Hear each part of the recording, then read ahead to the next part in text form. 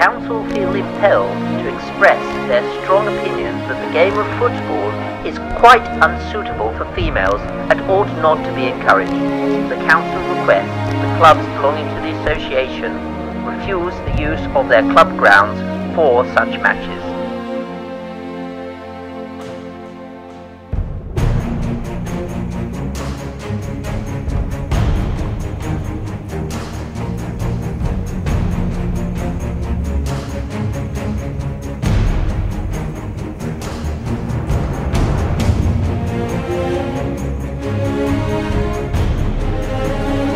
It's the United States against Norway for the first ever FIFA Women's Championship. The United States leading 2-1. We wait simply for the whistle, and that is it! And the United States has finally won a world championship in soccer! And, and there is not a more humbling experience to walk into a stadium and see so many girls wearing your jersey.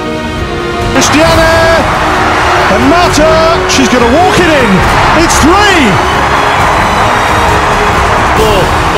in here behind the defender.